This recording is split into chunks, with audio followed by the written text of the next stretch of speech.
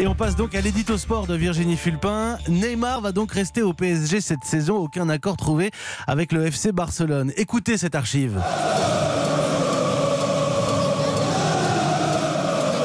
Supporters du Paris Saint-Germain qui accueillaient la star Neymar, c'était au mois d'août 2017, ça paraît tellement loin.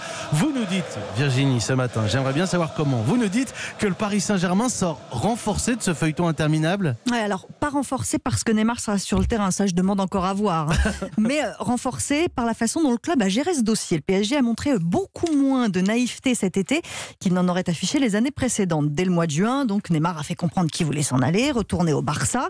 La réponse du président Nasser El Relaifi, je veux des joueurs prêts à tout donner s'ils sont pas d'accord. Les portes sont ouvertes. Il s'attendait pas forcément à ça, hein, Neymar. Personne n'est venu se mettre à genoux pour le supplier de rester. Et rien que ça, ça montrait un changement de politique. Moi, j'étais prêt à le faire. à aucun moment, il y a eu de panique non plus au PSG. À mon avis, euh, les dirigeants n'ont pas eu que des jours sereins, mais au moins, ça ne se voyait pas.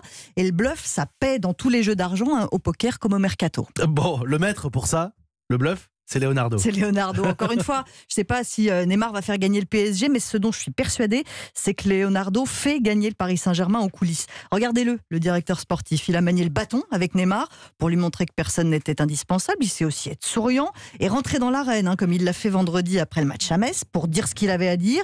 Il y a eu des négociations avec Barcelone. À aucun moment, on a obtenu ce qu'on voulait. Fin de l'histoire. ça paraît simple comme ça. Il maîtrise la communication comme personne, Leonardo. Et pour un club qui veut se faire euh, une place place au soleil européen, ça compte. Ah, c'est moins visible qu'une victoire en Ligue des Champions, hein, mais ça force le respect enfin quelqu'un qui va au bout de ses idées. C'est aussi une victoire contre euh, le FC Barcelone. Ouais, la meilleure euh, remontada des coulisses, si on peut dire. Hein. Le Barça s'est démené pour faire revenir Neymar. Tout ça pour rien, pour l'image, euh, c'est assez dévastateur. À côté d'un Paris Saint-Germain imperturbable qui finit par emporter le morceau. Alors maintenant, il reste du boulot, hein, que Neymar redevienne un joueur de foot, que le vestiaire lui pardonne ses caprices de starlet et que les supporters l'acceptent à nouveau. Mais c'est pas mal aussi d'avoir un programme de rentrée. rentrée.